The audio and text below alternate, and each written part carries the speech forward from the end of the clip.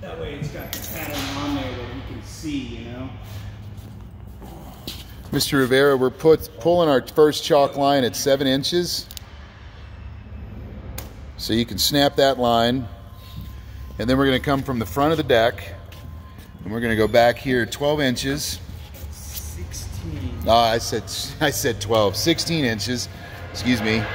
We're gonna go right here, 16 on center. This is where your first cross member is under the floor.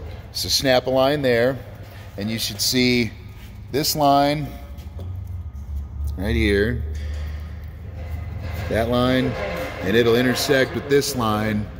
So you got an X. Drill a hole and put a screw there. Okay, and then uh, let me let's go tape across.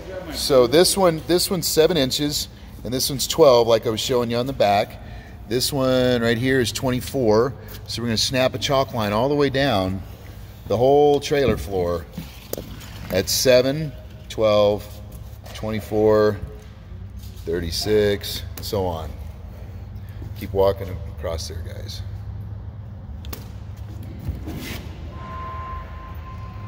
This old red box string.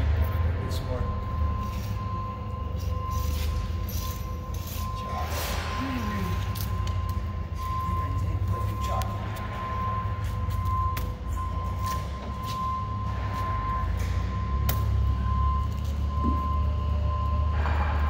So that's your 12, and then this is your last seven. Okay, so we got lines going this way every 12 inches, okay? And those go all the way down to the same marks at the other end of the trailer.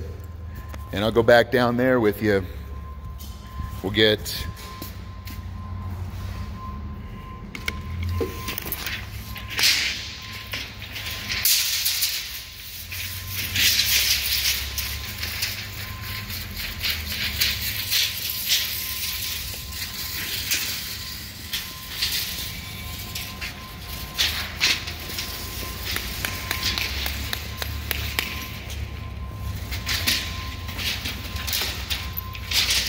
Okay, now we're about to work.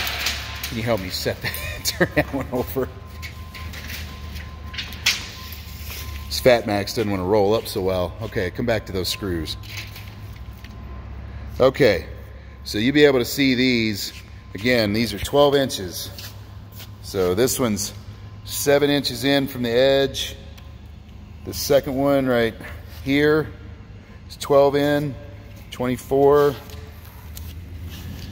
36, 48, 60 inches, 72, 84, we're one foot in from this edge, seven in from here.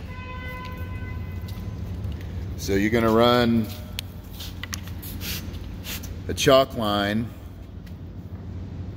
from here all the way up to the front at seven inches. You're gonna step over here and you're gonna run this one at 12. You're gonna run this one at 24. You're gonna run this one at 36.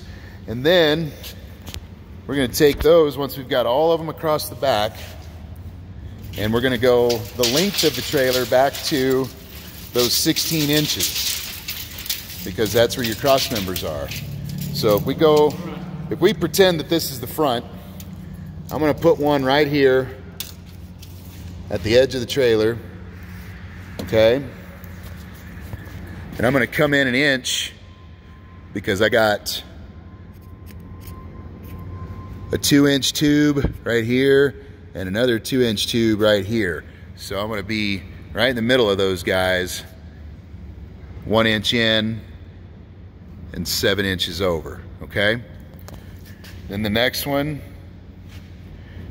well, this is the back and this is an oddball length, isn't it? So if we're pulling from the front, ignore this. If we're pulling from the front, our first one will be here at 16, right? Our next one will be at 32. Our next one will be at 48. And this should be where you'll see two pieces come together. You have a tongue and a groove side, and they seam right down here, and you will go screw, screw, screw, screw. You're alternating sides. You're going on either side. Damn, I can't get that. Either side of the reveal so you get both pieces to join up in a zigzag pattern across there about every eight inches or so apart. Um, pull from the front every 16 inches, make a mark out here on the side, go over to the other side and do the same thing every 16 inches, make a mark there, and then strike a chalk line from that mark to that mark every 16 inches. And that goes over the tops of all of your floor joists or your cross members on the trailer.